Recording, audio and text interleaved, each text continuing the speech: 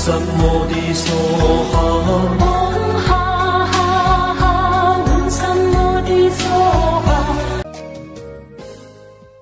Long Dương cầu giới Có một ông già râu tóc trắng như tuyết, diện mạo thanh kỳ, đi thẳng vào phương trường, quỳ trước mặt tôi xin thọ giới.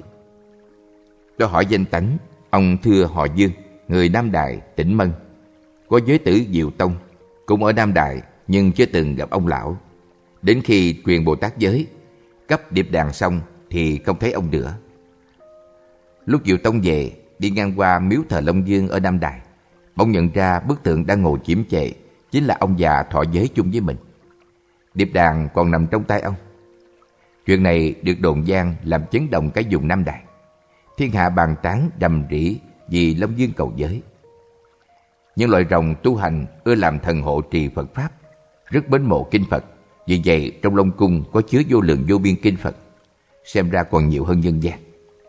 Thuở xưa Bồ Tát Long Thọ xuất gia xong, khi biên đọc kinh Phật, Ngài thấy còn nhiều thiếu sót. Sau đó, Ngài được Long Dương thỉnh xuống Long Cung trong biển.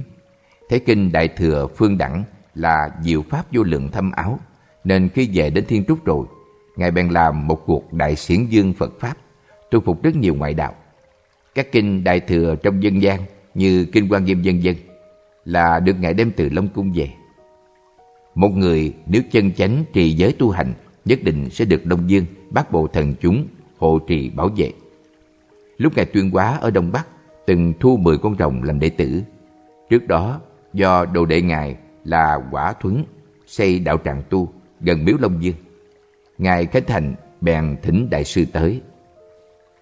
Hôm đó, có 10 con rồng hiện hình người tới xin quy y.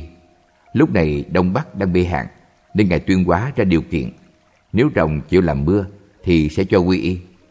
Hôm sau, ngày thứ hai, quả nhiên trời giáng mưa trừ hạn. Ngày thứ ba thì mười con đồng được chính thức quy y. Đồng có chung pháp danh cấp tu. Từ đó về sau, hãy ngài tuyên hóa đi tới đâu thì quyến thuộc rồng đều cung cấp nước cho ngài xài đầy đủ. Không bao giờ để ngài bị thiếu và không hề xa lìa ngài.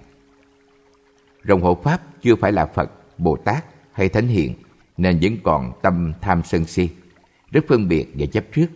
Nếu thấy người tu không đàng hoàng thì sẽ nổi lôi đình, sinh tâm sân giận và ra tay trừng trị.